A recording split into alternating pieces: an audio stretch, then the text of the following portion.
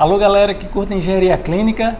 Estamos juntos aqui novamente para avaliar algumas questões de concurso público e hoje vamos aqui, junto com o Lúcio, falar um pouco sobre o canal, um recurso que o canal tem que você precisa conhecer melhor. Fala aí, Lúcio. Isso aí, Samuel. Um dos recursos que o canal tem, tem vários, né? É uma aba que se chama comunidade. Logo que você entra no canal, no topo superior, é só deslizar para a direita ou para a esquerda que você vai encontrar a aba comunidade. E a gente está usando essa aba comunidade, ela permite uma função de enquete.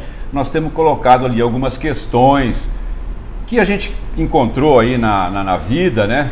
no aprendizado, em outros documentos. Só que são questões para concurso, mas elas têm um nível um pouquinho mais elevado, um grau de dificuldade um pouquinho maior e as pessoas não estão acessando muito, né, Samuel? E a gente fez um, um acordo aqui que toda vez que uma questão atingir 50 pontos, né, 50 respondentes, vamos dizer assim, a gente pega a questão e comenta. Isso também dá uma, um direcionamento para nós.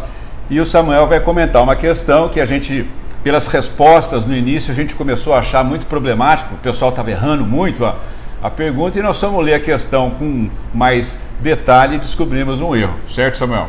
Então, foi postada dois meses na, lá na aba comunidade com um total de 46 votos. E dentre as alternativas aqui, vou ler as alternativas para a gente comentar cada uma delas. A questão é o seguinte: a carga do desfibrilador cardioversor é armazenada por qual componente? Alternativa A, bateria. Alternativa B, rede elétrica.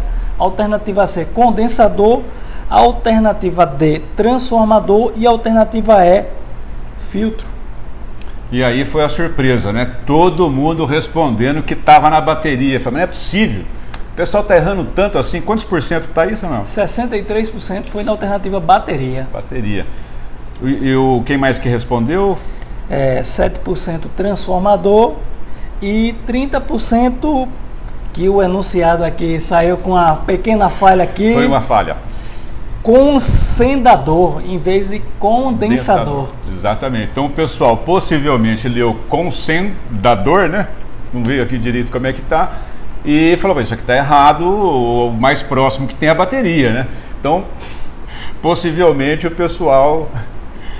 E até também, como tem lá no livro do Lúcio lá, instalações elétricas hospitalares, tem um capítulo lá falando sobre os componentes eletrônicos, elétricos usados em equipamentos médicos, o condensador é sinônimo de capacitor, né? É até mais usado em Portugal, né? Esse termo condensador. Eu não sabia. Né? É. é capacitor, armazenador, condensador, como falam mais em Portugal.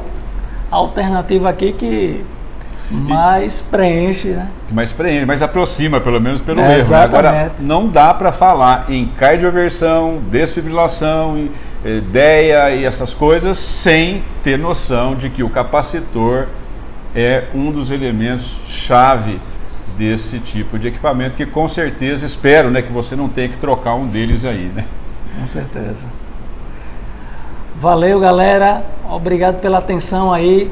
Assiste lá o vídeo, deixa o like e se inscreva no canal, né? A comunidade. Verifica lá. a aba comunidade.